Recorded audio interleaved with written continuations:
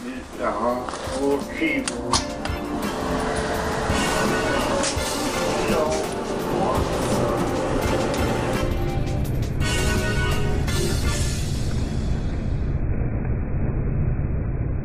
First thing we check is this thermofuse looks like this.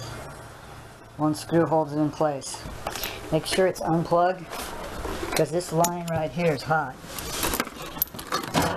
Don't try this at home. I always isolate one of the lines and it could be one of those too as well. Not very likely this thermostat here.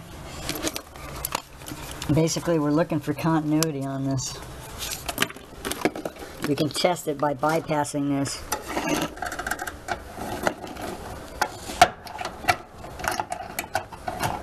This one, this one's shot, so we lucked out. We uh, found this problem right away. Put your meter across here, and you don't see it react. If it doesn't react like that, it's bad. So that's what we just did, and then we found out that that thermostat is bad. So this one's gonna be Och keyboard.